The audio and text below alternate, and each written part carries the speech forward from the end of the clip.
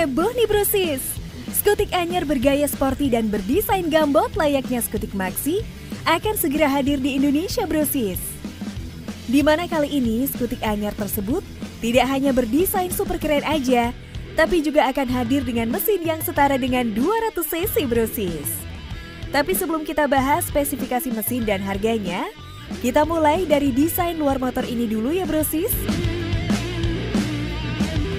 Di mana pada bagian headlamp, skutik ini memiliki desain single headlamp yang minimalis pada bagian tengah fairing, serta dengan pencahayaan full LED.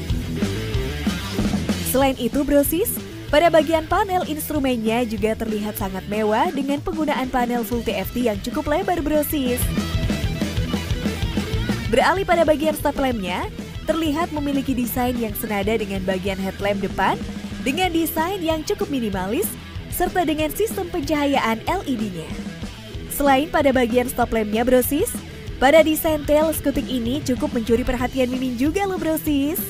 Dikarenakan desain pada tail skutik ini terlihat sangat sporty dan memiliki aura layaknya motor-motor sport dengan desain yang meruncing serta penggunaan model single sighter.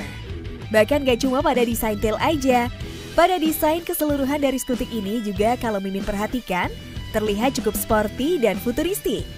Menariknya pada bagian tengah terlihat rangka model Delta Box serupa dengan yang sering digunakan oleh pabrikan Yamaha. Beralih pada bagian suspensi, di bagian depan menggunakan suspensi teleskopik dengan velg cukup lebar dan pengereman depan cakram. Lalu pada bagian belakang menggunakan suspensi single sapling dan velg yang cukup lebar juga, serta pengereman belakang cakram.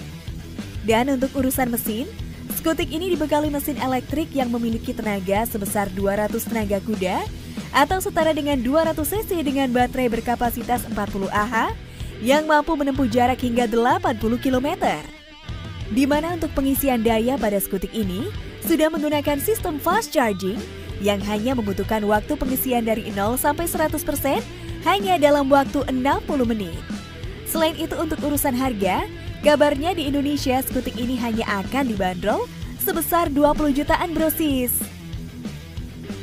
Dan nantinya motor ini sendiri akan hadir di Indonesia dengan label Crean 07 dari pabrikan TVS. Nah, jadi gimana brosis? Kalian tertarik nggak meminang TVS Creon ini? Tulis dong di kolom komentar. Sekian info otomotif kali ini dan jangan lupa untuk subscribe channel ini agar kalian tidak ketinggalan info otomotif menarik dan terupdate lainnya. Mua.